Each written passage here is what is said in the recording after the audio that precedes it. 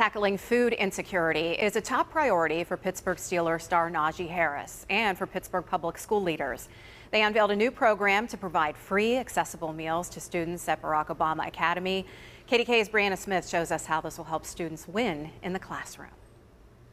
This is a picture of the grab and go breakfast car. It will be filled with nutritious food for students to eat every morning so that they're fueled and focused for the day. If Najee Harris isn't making moves on the football field, he's doing it in the community. On Tuesday morning, Harris revealed a new system at Barack Obama Academy to make sure no students are left hungry. I hope that they relate to me is because I was once in some of these kids' shoes, and I'm so I can relate to them better.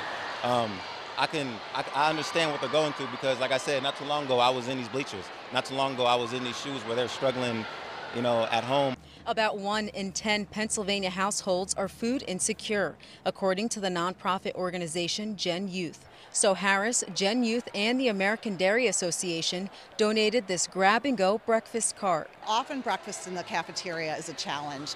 It takes extra time to make it from the bus to the cafeteria, and sometimes there's a stigma associated with eating breakfast in the cafeteria at school. Starting next week, more than 600 students can choose from milk, fruit, whole grains, and protein for breakfast. The Gen Youth CEO says this program is proven to increase participation in meals by 27%. Almost a third of the students are, you know, are getting breakfast that weren't getting it before, which is tremendously important. It helps with their nutritional intake, but as well as their academic performance. For us to find ways where we could keep helping them out and keep, you know, making sure that they're, they're going to be at tiptoe and they're going to be have the strength to go on in life and to move forward. I think that's very important. Harris and Gen Youth are also focused on the students' physical activity.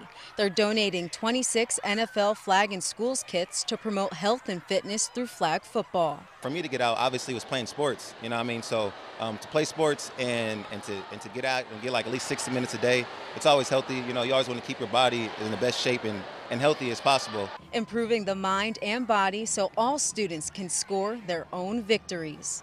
In Barack Obama Academy, Briana Smith, KDKA News.